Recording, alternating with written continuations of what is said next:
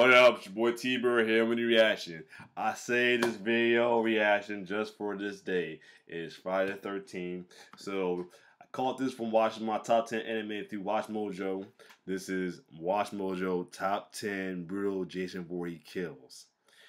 Now, I'm a Freddy man myself, but Jason Voorhees was a bad motherfucker. I got some on my beard or something. I don't know what the fuck. Anyway, Jason Voorhees was a bad motherfucker. Oh man, I'll tell you one of my theories on horror movies though. But all I say is he don't give a fuck what you are, black, white, young, old, you know, thinking kids, male, female. He used to fuck people up. So let me not hold y'all long. Let's do this. Top 10 brutal Jason Voorhees kills. It's been a minute did freak out video, so this is perfect. Let's do it.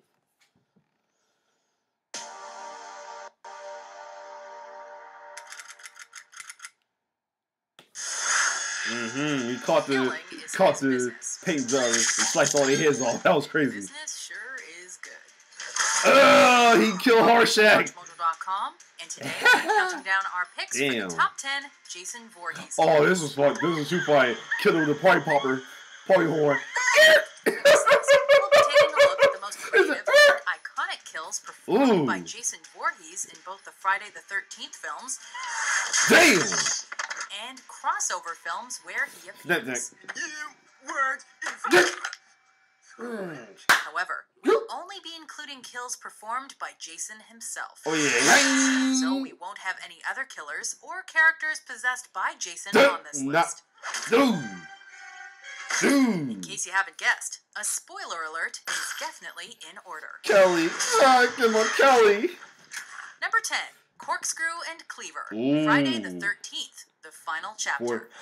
That was four. Played by Crispin Glover, Jimmy is a socially awkward teen who is desperate for some good sex. Unfortunately for him, he accompanies his friends to a weekend getaway at Jason Voorhees' old stomping grounds. He was on this? Oh, I don't know anybody new. I know that.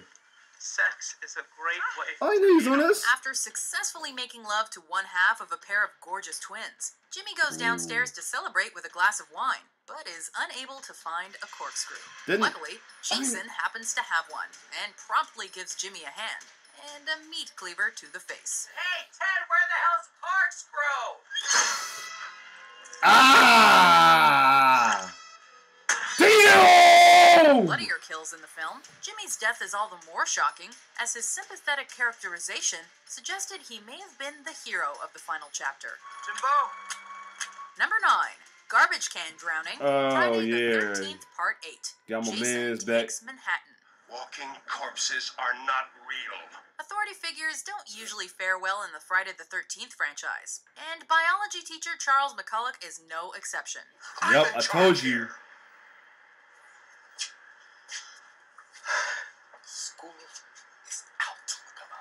more than a little uptight, and using fairly cruel methods to cure his niece Rennie of her aquaphobia. Mm-hmm. So it's all the more fitting that Mr. McCulloch ends up. He kind of deserved that one. I'm sorry. He kind of deserved that shit. Taking McCulloch by the ankles and plunging him headfirst into a sludge-filled garbage can, Ooh, Jason performs nasty, one of his he most deserved gruesome it, though. and arguably comedic kills.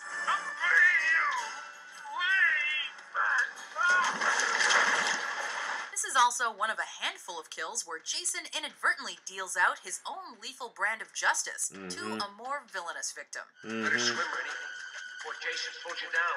Number eight, Sauna Rock. That oh yeah, this shit was crazy. Jason takes Manhattan. Let's fight, Julius. Guess I need to work on my left right left combo. You can never let your guard down when Jason's around. After losing a fight to Julius, a boxer who would also have a memorable encounter with Jason in this mm-hmm. film, Hopefully this unnamed victim tries to blow off some steam in the sauna. With the towel over his face obscuring his vision, mm-hmm. the boxer assumes it's Julius who enters to join him. He then finds out otherwise when Jason plunges a sauna rock through his chest cavity. Mm-hmm. I tell you, Jason was no fucking joke. This execution was yet another example of the more tongue-in-cheek kills, which had become more and more commonplace in the Friday the 13th franchise. He's undefeated. You know that? Number 7. Head Spin, Friday the 13th, Part 6. Oh, he got my homegirl. You guys, try not to wake the kids. As the Friday the 13th franchise continued through numerous sequels, there was a noticeable shift in Jason's kills, as they increasingly became the stuff of black comedy instead of dead serious horror. Alright, who's out there? However, my his killing of Sissy in Part 6 served as a reminder of how truly vicious Jason can be. After assuring a frightened girl that there's nothing to fear outside of her cabin, Sissy finds out there is indeed plenty to be afraid of when Jason comes a knockin'. After yanking her out of a window, Jason twists her head around 180 degrees before tearing it off completely. Mm. Mr. Voorhees seems to have perfected this move, as he's done it before to a chief Wait, so- coroner. Oh! He got my man so good, so twist her head open. Ooh. Eye Pop, Friday the 13th, Part 3. Oh, the 3D. This third installment in the Friday the 13th 3D. franchise sought to take advantage of 3D technology Uh-huh. and featured several kills that exploited it to the fullest. Everything alright? Oh yeah, my man's right here. Uh, This uh, scene in which the character Rick meets his maker exemplifies this element. After his car dies and he begins to search the grounds, Rick is caught by Jason and has his head crushed in the serial killer's vice like grip. Even more grotesque is the fact that Jason squeezes Rick's head with such tremendous force that it Uh. causes his left eye to pop out of its socket. An effect which is considerably enhanced by Part 3's use of 3D. Number 5. The Oh, I was hoping it'd be in it. Oh. 13th, Part 8. That's what Johnny Cage got his shit from. Operator, this is an emergency. Give me the police. After arriving in the Big Apple, Jason squares off against amateur boxer Julius in a battle of fisticuffs on a rooftop. In a lengthy sequence that showcases Julius's boxing prowess, Jason absorbs blow after blow to seemingly no effect. After bloodying his own fists and exhausting himself without even managing to knock Jason off his feet, Julius gives a sportsmanlike invitation to Jason to deliver his best shot. Your best shot. Unfortunately for Julius, Jason packs plenty of punch in his own right as he delivers an uppercut which knocks Julius's head clean Mm. off his shoulders. The Johnny Cage. That's the Johnny Cage got it from. dumpster. Mhm. Number four, Bedfold. Oh, he, oh my God! This was this was this fucked me up while I watched the movie. I did not expect that that shit to happen. Hair smells like menthols anyway. But he was a dick anyway. He deserved it, but I didn't think he would get fucked up like that. For his bloody work. When He was a dick, though. Nearly unlikable Trey in bed having a beer. Jason Like right here, I ain't think God of when his he turned him. Let you know it's just. After repeatedly stabbing Trey with his machete and piercing the bed's mattress, The Jason heart. displays his supernatural strength by folding the bed. And Trey's Yeah, I thought it was it, but I ain't with expect this. ease. Ah! This kill is the first of many in Freddy vs. Jason, and serves as an example of Jason's more brutal approach to killing, Yeah. as opposed to Freddy Krueger's more psychological. Everybody was all spraying like. Spraying like a world. that helped set the stage for this clash of horror movie titans. Mhm. Number three, Sleeping Bag. Oh. Friday the 13th, Part 7. The New Blood. It's gonna be a cold night tonight. He fucked her One up of with that veteran sleep Jason actor Kane Hodder's personal favorites, this kill from the seventh installment in the Friday the 13th franchise takes full advantage of the camping theme prevalent in the series. And it came on, and a they, big the, of a man it was a, uh, and get me. it was a, uh, the, uh, Blood displays example Jason's for this- his finisher on as the he X. uses a variety of weapons to slay his victims. Man, what are you doing? And he uses this for, and he uses for a more Perhaps X. His finisher more guys when he method used of it murdering says. a camper who tries to hide from him in her sleeping bag. Boom. Mm. Undeterred, Jason simply picks her and the bag up and slams both into a tree to get the job done. Mm. Originally, the scene called for Jason to slam the sleeping bag into the tree several times. It did, and blood's coming out. Shortened so the film could avoid an X rating. Oh, oh yeah! Number two, machete to the face.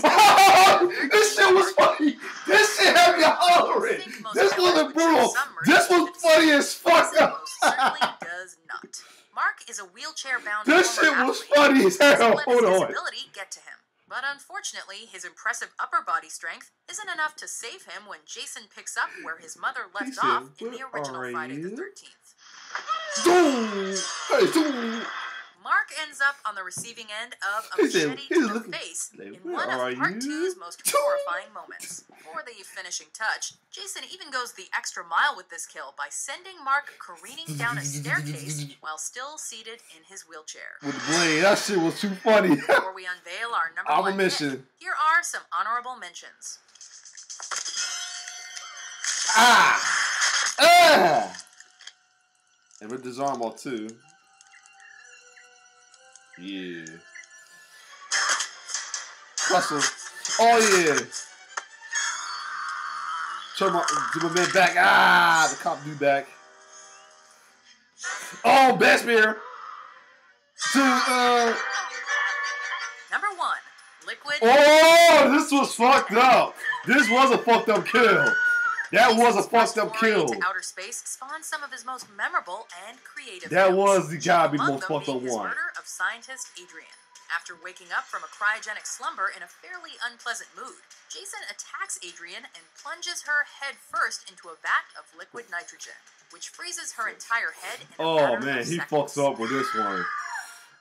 Oh, Despite Oh, the ah, icy shit. having clearly killed her when he pulls her back out, Jason adds insult to injury by slamming Adrienne's frozen face into the countertop and shattering it. damn.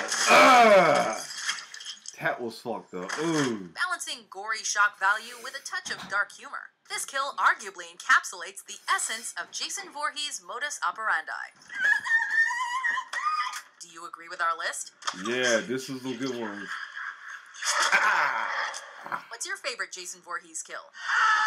For more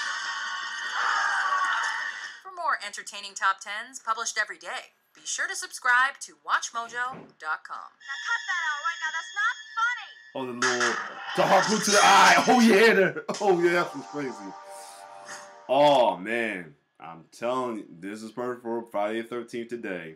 Oh man, Jason, I tell you, I say this to people all the time. Jason gives no fucks on who we kill. Whether you black, white, young, old, you know, he kill kids, male, female, he gives no fuck. The reason why I say that because you know, I know a lot of horror movies go like this though. Black folks get get taken out first, or they get taken, or to be happy to get taken out in the movie. They don't kill, be the first kill. They happen to get killed, but they don't get as fucked up as like the white folks and the Asian folks and stuff like that though. And females don't get as bad as a dude. And something like the older folks don't get that just jacked up as dudes, or if they should get if they do get fucked up, they'd be all off screen or something like that. But Jason movies, Friday Thirteen movies, oh man, nobody's safe. See, uh, my man got his head knocked off, cleaned off with the uppercut. He was black, and the girl, with the party popper, party party horn to the eye was crazy. And you see, the one black girl got their head twisted up and ripped off. Jason gives no fuck, and the old dude getting drowned, like. And many these joints was was a lot of female kills too. They got fucked up pretty bad, especially the number one with the nitrogen though. I'm telling you, Jason gives no fuck. He was fucking people up in Friday 13.